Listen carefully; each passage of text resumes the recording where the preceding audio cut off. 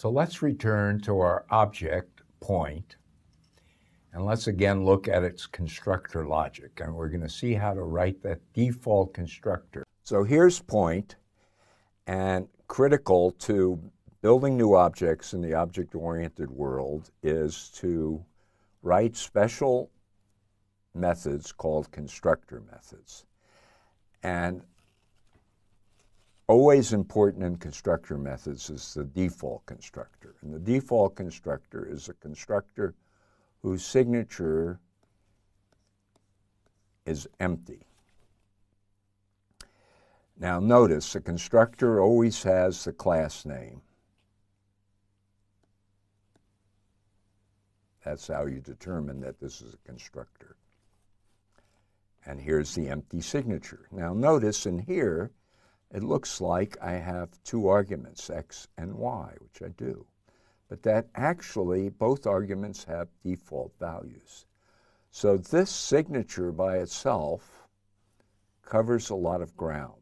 It's a very useful, what you might call abbreviation, because what it's covering is a signature in which you could replace, you could use point with no arguments, point with one argument, and point with two arguments.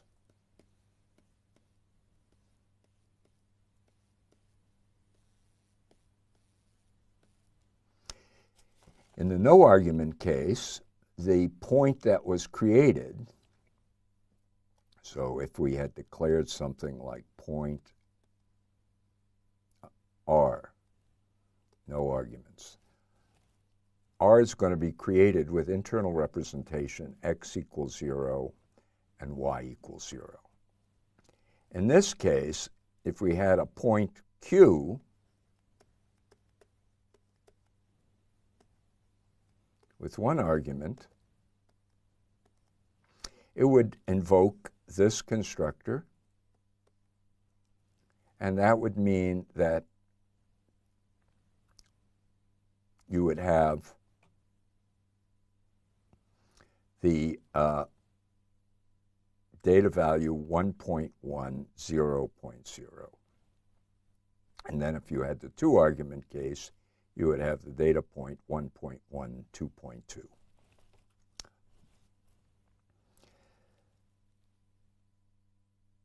Now we're going to see, and we're going to talk a lot more about constructors, that there are other very important constructors. And almost always when you build a new object, you have to use the default constructor, but you also have to build something like a copy constructor. And you frequently have uh, one argument constructors, which can also be used for conversion possibilities. You might even call them conversion constructors. All of those are very critical and should always be thought about when you create a new object like a, like a point. Now, the other thing critical to this that you might not have seen before is the use of initializer list syntax.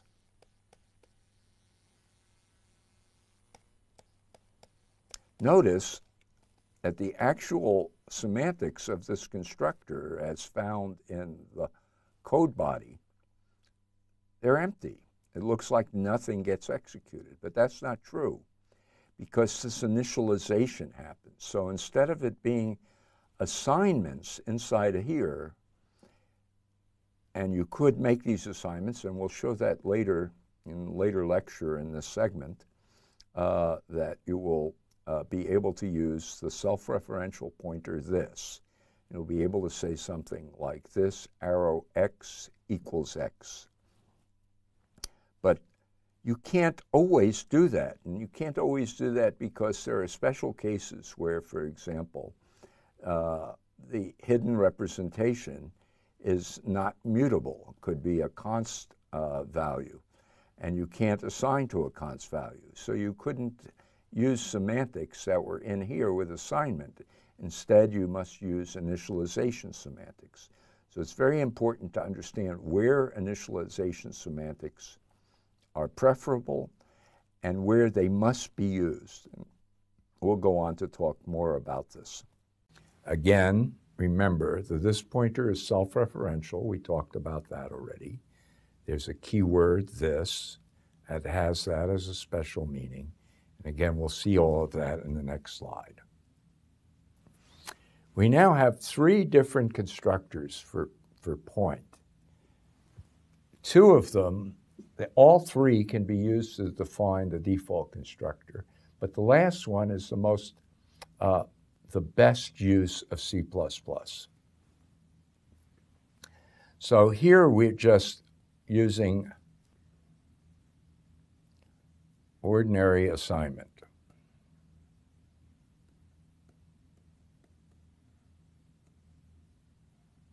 Here we're using this pointer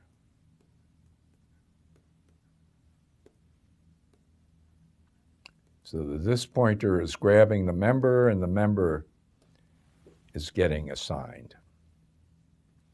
Here, we're using initializer list.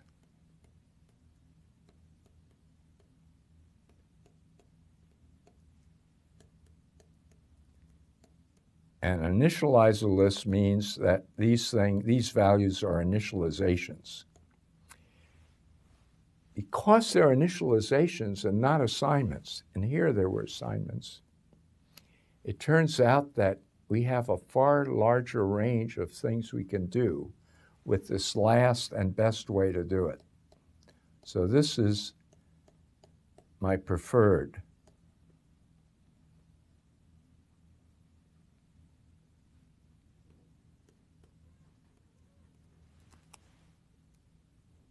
If, for example, we had a widget in which one of our hidden members that we needed to uh, initialize was a const. So we had a const int special, let's call it. And that was hidden away in private. It would have been illegal to use the constructor style of one or two because that involves assignment. Assignment means we're mutating the values stored in this item. But this is initialization. Initialization, much like with the native types, if we have a const int special and we assign it 5, that means it's going to be 5 throughout the range of that declaration, throughout the scope of that declaration. We're telling the compiler it can't be modified. Called const correctness. That's a very good thing to do. That, that helps us and prevents us from writing buggy code. So the same thing is going to be true with an object. Remember, everything in the native language we want to replicate in building objects. And we may also want to have the ability to have members that are const. And members that are const means that we have to have the ability to initialize them. So, as I say, initialization is preferable to assignment. And only in the constructors, only in the constructors, do, are you allowed this initializing syntax, which makes sense because that's the constructor's job. The constructor is to build the object and initialize it. Anytime we were to call P, Q, and R as a point, all would call the constructor a void signature. Now, of course, you'd have to write that void, that default constructor, the all call the default constructor, and you only you would only choose one of those. You can't write all three because you'd have an ambiguity. And they would call the instructor the constructor with the void signature. Now, just because you have a void constructor doesn't give you all your opportunities. It's also useful to have multiple ways to initialize objects, multiple ways. Let's look at initializing point with this signature. This says I have two doubles in my argument list. And the argument name is going to be X. So the arg name is X. But X is going to be assigned to the member. So this is the x that's the argument. And this is the x that's the member. Used to disambiguate. Otherwise, I could have said point, double, xyz, comma, and then I wouldn't need this disambiguation. I would say xyz is equal to x because I would know that that's the only thing in the range of the method. That x would then have to be the self-referential x. But once I have an argument, that argument name takes precedence over the self-referential name. And the way you disambiguate it is through the use of pointer notation and the this pointer. So that's very important to keep in mind. Sometimes the use of the this pointer is unavoidable.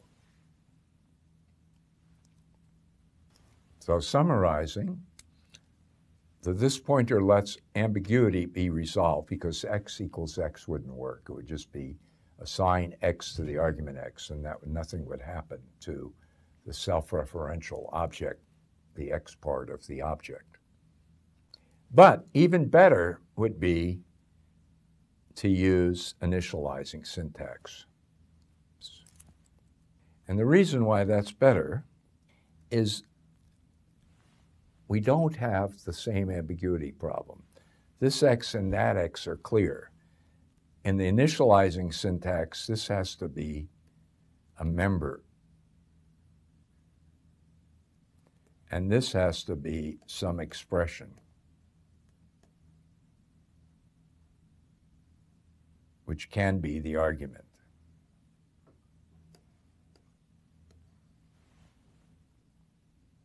So this provides for the disambig disambiguation automatically. And we don't have to, we can avoid the use of this.